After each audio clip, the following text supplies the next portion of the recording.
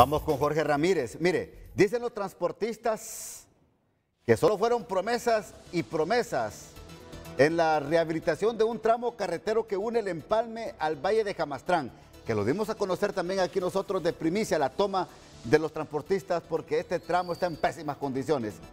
Es decir, que las promesas siguen y siguen. Jorge Ramírez, buenos días.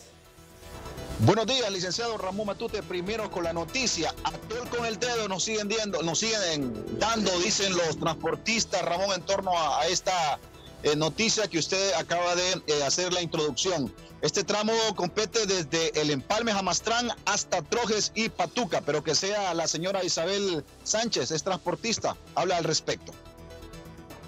Da, ninguna, Jorge, ninguna ellos solamente medio actúan como para engañarnos, según ellos, ¿verdad? Engañar al pueblo también.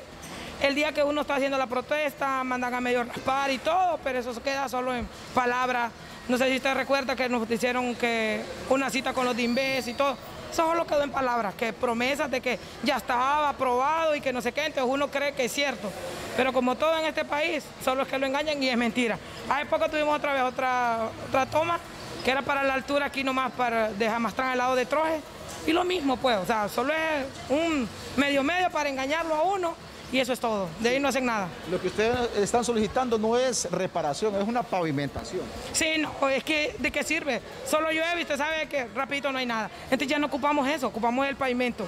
Porque la verdad se supone que eso está probado. Ya no una ni no varias veces y no hay, no, no se ve nada. Bueno, eh, el dinero supuestamente ya fue aprobado, licenciado Ramón Matute. Lo que pasa es que el gobierno actual dice que en las arcas está en cero, no hay nada.